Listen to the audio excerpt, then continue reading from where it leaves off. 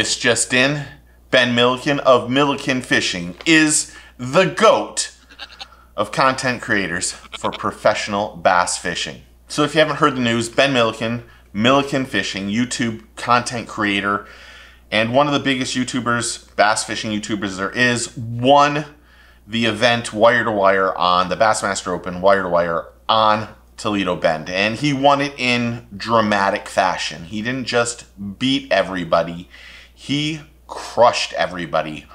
One with over almost 80 pounds of fish. I think 77 was the the 77 78 was the final tally for him, but won by 10 pounds and did it in dramatic fashion. He just owned everybody. It was a school in session. He put on a flat out clinic out there on Toledo Bend. And it brought me to this question. We've had other YouTubers or content creators who have attempted to go pro. We've had a lot of professional anglers who have tried to step into the YouTube world. Rob Turkla tried to do, tried out the National Professional Fishing League a couple seasons ago and did horrible. I mean, horrible. And tried the Opens too, didn't do well. And the Bassmaster Opens is the toughest field out there. First off, now we're going to see Ben in the Classic in 2024, which is great. Right now, he's tied for first in points to possibly get an elite bid, and that's even bigger. My opinion is, I think I could I think you could see this happening. Ben is a forward-facing sonar genius.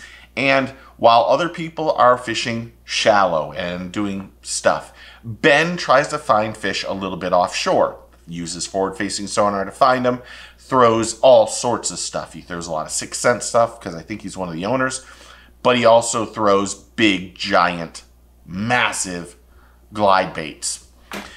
I watched, I looked at uh, a collage of, of photos on Bassmaster, and everyone had a giant glide bait in midair.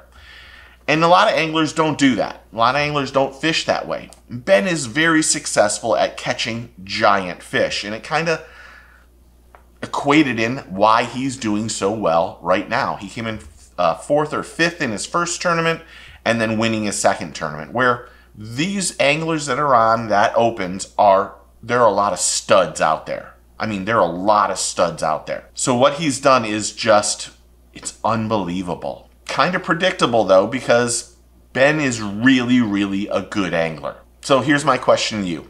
Is Ben of Ben of Milliken Fishing the greatest YouTube professional bass fisherman there is? I mean, he's putting on he's putting on a show. He's showing out what he does and what he does well, how he fishes well. He's very confident and calm and actually when you listen to him speak and how he uh, how he holds himself is very impressive. I say I would say I say some of his videos are a little clickbaity, but and I had to I had to turn one off the other day because of swearing that he said with my little boy. But other than that, Ben has is doing something that is phenomenal. And and as of right now, if I look at the whole 2023 season and I look at Bass Pro and MLF and uh, the BPT, I mean, and NPFL and Elites and then the Opens. Right now, I believe Ben leading after two, and it's only two tournaments, but winning one of those tournaments is the biggest storyline in the Elites and in Bass right now. I think it's actually bigger than Kevin VanDam retiring because I think we're still going to see a lot from Kevin in the in the future.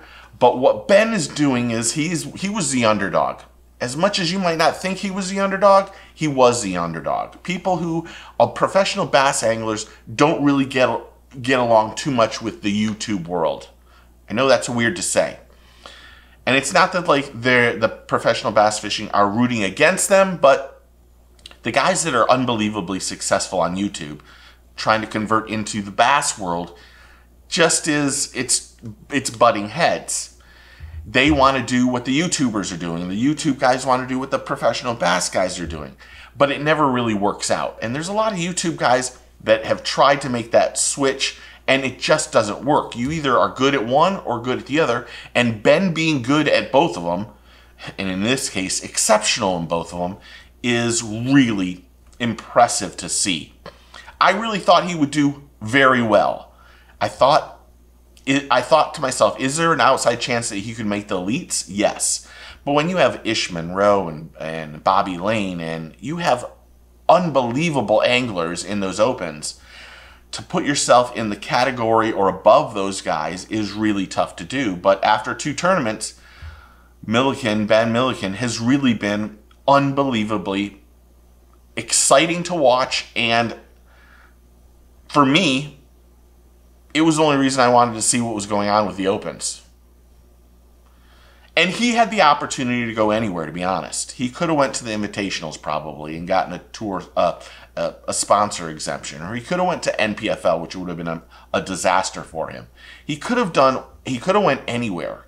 To have the to put the thought in where the right place to be is another super smart decision on his side. He thought, where where should I go? And he went to the Opens, the hardest, most competitive angling group there is. And he's now two after two tournaments, he's first in points. My hat is completely off to him. I'm unbelievably uh, happy for him, surprised at the same time, and I enjoy. I'm I'm enjoying trying to cover the opens now. I can't say that about everything else, but this is the one storyline that I'm even happy to see. And I don't know Ben at all. I would love to go fish with him because I'd love to catch some of those giant fish he has in Texas. I am unbelievably impressed by how good of a fisherman he is. Good isn't even the word. He's a great angler. He's a great angler. And I hope to see him do even better throughout this season. But quite honestly, this was really, really impressive to win Toledo Bend. It really was. So you guys tell me what you think. Is he the GOAT? I mean, I know it's only been two tournaments, but he's done really well. Comment below and tell me what you think. Remember, take a kid fishing, get your fish on. I'll talk to y'all soon. Cheers.